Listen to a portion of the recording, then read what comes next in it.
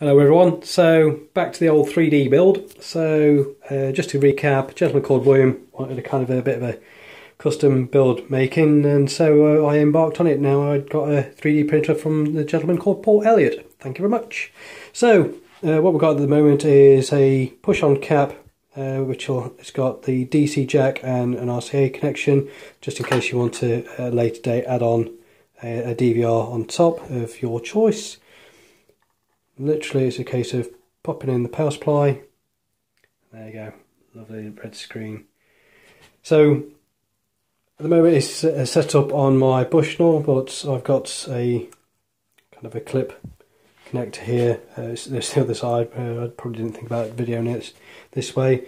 But the reason why this looks so big on top is because it's also positioned to not only take um, if I just lift this off gently without dropping the battery all over the place. As you can see I've got three 1865 batteries in there. Again, please ignore the size of these bolts. I made a cock up at the old um, Screwfix, getting the wrong length, but I'll get that corrected. But it's to also be able to take a battery like that. Uh, and you'll see, just at the side here, I don't know if I can move the cables out of the way, there's a gap there.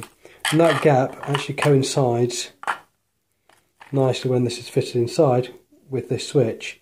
So you can actually have all this bolted together with this inside, switch it on and off.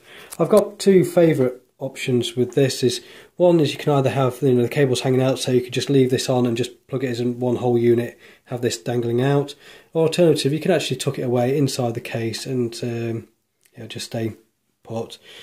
I've also tried to make this fit the small battery and it does fit uh, albeit I think I'm going to have to add an additional spacer uh, which will actually bring the switch again up to somewhere like that so you could turn that on and off. But it's it's obviously a, a good good idea. Obviously I'm biased but you know let me know what you think. It's uh, it's been an absolute pleasure doing this for you William and I will admit it's uh, given me a couple of sleepless nights and many uh, problematic thoughts. But anyway, there you go. Uh, please like, share, subscribe, comments, good or bad. I'm, I'm, I'm, really not too fussed about this in the sense that it's, it's something that should, just shows that what can be achieved with not only 3D printing, but with an open mind of what you want to do with the design. So thanks a lot.